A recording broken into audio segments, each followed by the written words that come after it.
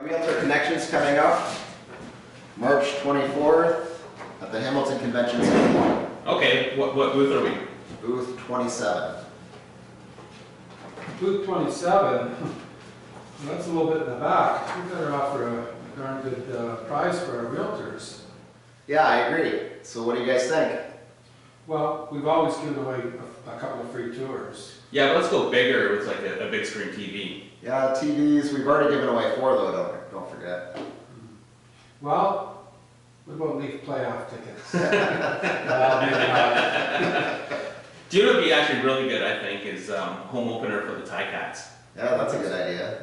Cats, new stadium. Yeah. Even if they don't like football, they can give it away to their clients. It's gonna be the place to be, I think. I like that idea too. We Okay. can give a couple free tours away too. Okay. Yeah, sounds good. Sounds good.